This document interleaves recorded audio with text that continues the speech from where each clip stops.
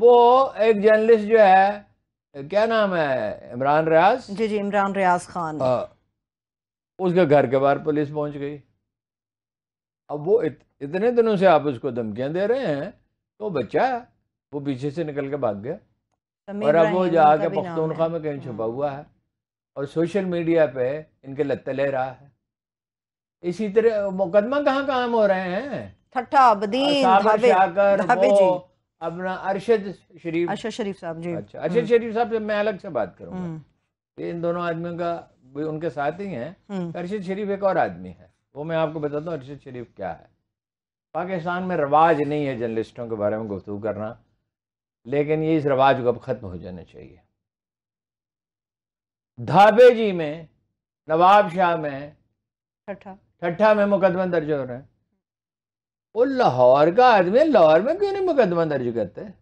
और साबिर शाकर इस्लामाबाद में रहता है तो इस्लामाबाद में क्यों नहीं करते? और अरशद शरीफ इस्लामाबाद में रहता है। अब अरशद शरीफ जो है ना वो मतलब एंकर तो है ही बड़ा अच्छा एंकर है। बेसिकली एक रिपोर्टर है। उसने शरीफ खानदान के जो मनी लॉन्ड्रिंग के मामला थे उस पे इतना काम किया कि अगर ये अमेरिका में होता तो शायद इसको पुलिसर प्राइज मिल जाता जो रिपोर्टिंग का सबसे अच्छा बड़ा हम्म। प्राइज है। लेकिन उसने इमरान खान को माफ़ तो नहीं किया। बावजूद इसके कि उसको वो मतलब एजाज भी दिया गया उस पर इमरान खान के हुकूमत में आने का तो इमरान खान को उसने को माफ़ किया। इमरान खान ने जहाँ कहीं गलती की उसको हाईलाइट किया उसको भी हम्म, उ, उसी तरह वो तनकी उसी शब्दमत से तनकीद करता रहा। हम्म, अब उसको डरा रहे हैं। जी। मैं उसे जानता हूँ। आप अगर तीन हज़ार फ़र्ज़ कीजिए तीन हज़ार थाने हैं काफरस्तान से लेकर कराची तक सारे थानों में पर्चे कर दें वो फिर भी नहीं डरेगा। वो तो फेस करने के लिए तैयार है उनके उनकी वो अब लोग मुख्तलिफ़ तरह के होते हैं। कुछ लोग जो हैं वो खतरात मूल लेते हैं कुछ नहीं लेते कुछ बहुत बुजदिल होते हैं। कुछ लोग होते हैं वो सौ फ़ीसद खतरा मोल लेने के लिए तैयार होते हैं कि जो होना हो जाए होना क्या होता है? कोई अल्लाह ताला है जो चाहे कर ले। वो जो होना है वो तो अल्लाह अल्लाह की मर्ज़ी के बगैर तेरे पत्ता भी नहीं खड़े। और इस काबिल हुकूमत है कहाँ कि वो ये सब कर लेगी? ठीक है। हुकूमत का मौकफ ये है कि हम हमेशा से नून लीग अपोजिशन में भी रहते हुए और अब भी आज़ादी इजहार राय की बात करती हम ये काम नहीं कर इससे सकते। ज़्यादा मुझे का खेज कोई बात ही नहीं हो सकती इस पे मैं तबसरा नहीं कर सकता। ठीक है। ये वैसे हुकूमत की जो है है, वो अपना मलिया लोधी के खिलाफ बगावत का मुकदमा। नजम सेठी गिरफ़्तार हुआ।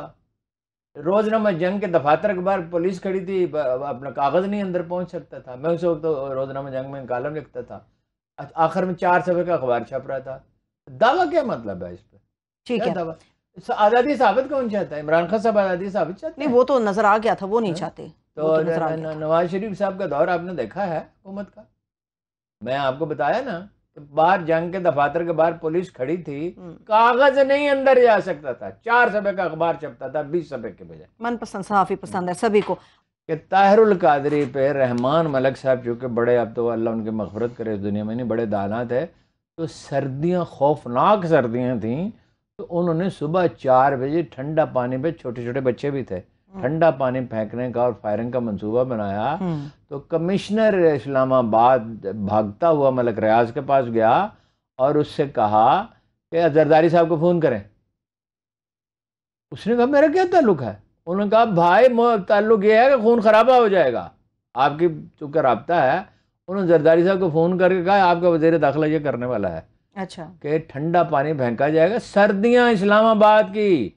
शदीद सर्दी होती है शदीद नहीं सर्दी होती इस्लामाबाद की। ना- वो इस्लामाबाद में अब माइनस थ्री तक जाता जी है। बिल्कुल ऐसा और वो जाता भी वही उसी वक्त पे सुबह चार बजे। हम्म, तो फिर जरदारी साहब ने उसे कहा कि इंसान बनो। जरदारी साहब रहमान मलिक से इसी तरह गुफ्तू करते थे। उसे ये नहीं कहते थे मलिक साहब ये ना करें। और इंसान बनो इंसान बन। है जी? इस तरह की हरकत ना कर। अच्छा ठीक है। चलिए पीपल्स पार्टी की आपने बात की। ये जानते हुए कि आप बिलावल भुट्टो सरदारी साहब को संजीदा नहीं लेते। वज़ीर खारजा के तौर पर फिर भी उनकी बातों को मैं आपके सामने रखूँगी। वो मुझे उस आदमी का नाम बताएँ जो उनको संजीदा लेता है उनके वालिद ग्रामीण के सिवा। वो मुल्क के वज़ीर खारजा में उस हैसियत में आपसे सवाल करने वज़ीर खारजा तो हैं। हाँ। वो कौन आदमी जो उनको चलिए उनकी बातों पे जो मैं सवाल आपसे करने वाली हूँ वो हाँ, संजीदा है। अमेरिका के साथ वो समझते हैं कि कशीदा ताल्लुकात से निकलना होगा वसी और मानी खेज ताल्लुकात अमरीका के साथ लेकर हमें आगे बढ़ना होगा। ये बिलावल साहब ताल्लुकात दो मुल्कों में हों या दो आदमियों में हों या दो ग्रुप्स ऑफ़ पीपल में हों तो वो दोनों की मर्ज़ी से होते हैं। अमेरिका पाकिस्तान को डिस्टेबलाइज करना चाहता है। हम्म, उसने जो जो बाइडन को कितना अरसा हो गया हुकूमत में आए हुए उसने एक टेलीफोन करना पसंद नहीं, नहीं किया। किया। सरद मेरी आज भी इमरान खान ने कहा सरद मेरी का रवैया अख्तियार किया। अमरीकियों ने मदद की अपोजिशन की ये कोई छुपी हुई बात नहीं है। इमरान खान को ओवर थ्रो करने में। अमरीकी मीडिया ने उसके ख़िलाफ़ लिखा। वो शुरू से फौजी कार्रवाई के ख़िलाफ़ था अफ़गानिस्तान में और कबायली इलाके में। तो उसको नापसंद करते थे। तो मानी ताल्लुकात अमेरिका से ज़ाहिर दुश्मनी तो हम नहीं कर सकते।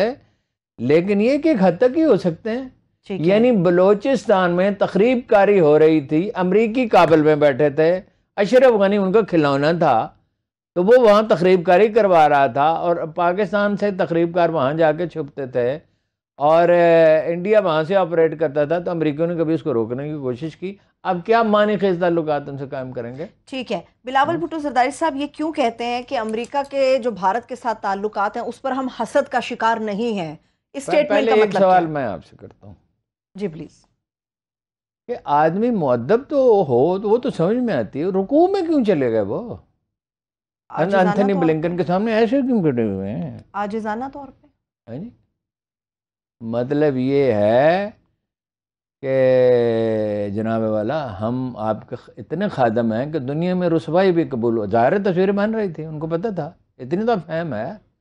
पूरी दुनिया में तस्वीरें जाती हैं अरुण साहब की किस तरह से मुलाकातें होती हाँ। हैं। अंदाजे बयान क्या है आपका? बात ये है Body language क्या है? बात ये है कि इंडिया तो जैसे डिगाल ने कहा था सॉरी अमेरिका तो दुनिया के हर मुल्क का पड़ोसी है। हम्म, आठ सौ बिलियन डॉलर का उनका बजट है। आठ सौ फौजी अड्डे हैं उनके दुनिया भर में। सेंट्रल एशिया में उन्हें पाँव रखने की जगह नहीं मिल रही। ईरान मुखालफ है चीन मुखालफ है रूस मुखालफ है पाकिस्तान को इस्तेमाल करना चाहते हैं।